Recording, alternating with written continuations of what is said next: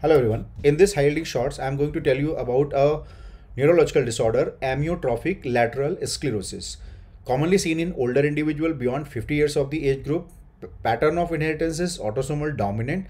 Problem is mutation in the superoxide dismutase 1 gene, which is copper zinc superoxide dismutase, and this is located on chromosome number 21 because of this mutation there will be a misfolding of the protein and they will cause damage of the motor neurons both lower motor neurons and upper motor neuron in this disorder you will find the symptoms and signs of both upper motor neuron lesion and lower motor neuron lesion upper motor neuron lesion will be shown by hyperreflexia spasticity and paresis Lower motor neuron lesion will be shown by muscle atrophy, fasciculations, and weakness.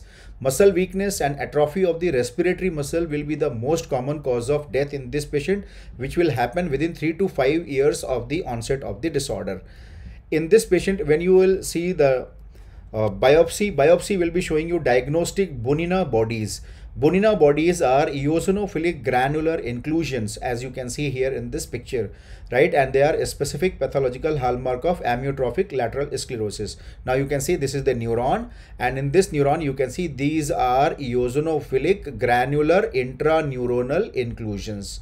These are the Bunina bodies which are diagnostic of amyotrophic lateral sclerosis. Enjoy learning. Best wishes for your exams.